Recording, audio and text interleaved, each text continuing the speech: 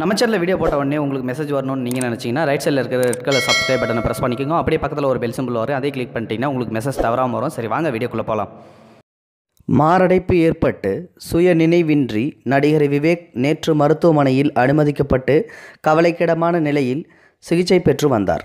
இந்த நிலையில் சிகிச்சை பலனின்றி இன்று அதிகாலையில் நான்கு முப்பது மணி அளவில் விவேக்கின் உயிர் பிரிந்தது.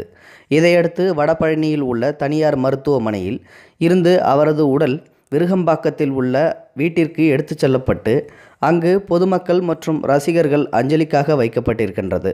நடிகர்கள் சூர்யா கார்த்தி நடிகை ஜோதிகா நடிகர் மயில்சாமி உள்ளிட்ட திரைப்பிரபலங்கள் பலரும் நடிகர் விவேக்கின் உடலுக்கு அஞ்சலி செலுத்தி வருகின்றனர்.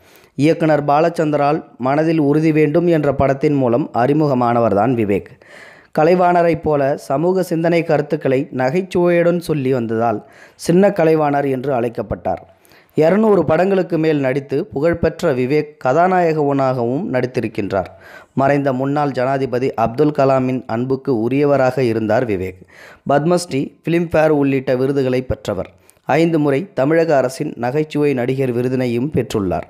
இப்படிப்பட்ட இவர் இந்த மண்ணை விட்டு பிரிந்தது பெரும் மக்கள் மக்களிடையே பெரும் அதிர்ச்சியையும் சோகத்தையும் ஏற்படுத்தியுள்ளது. இந்த வீடியோ பற்றின கருத்துக்களை மறக்காமல் உங்களோட கமெண்ட் பாக்ஸில் சொல்லுங்கள் முடிந்தளவுக்கு இந்த வீடியோ மற்றவங்களுக்கு ஷேர் பண்ணிவிடுங்க இது போன்ற செய்திகளை உடனுக்குடன் நீங்கள் தெரிந்து கொள்ள மறக்காமல் எங்களுடைய சேனலை சப்ஸ்கிரைப் செய்யவும் கூடவே பக்கத்தில் வரும் பெல் ஐக்கானையும் கிளிக் செய்யவும்.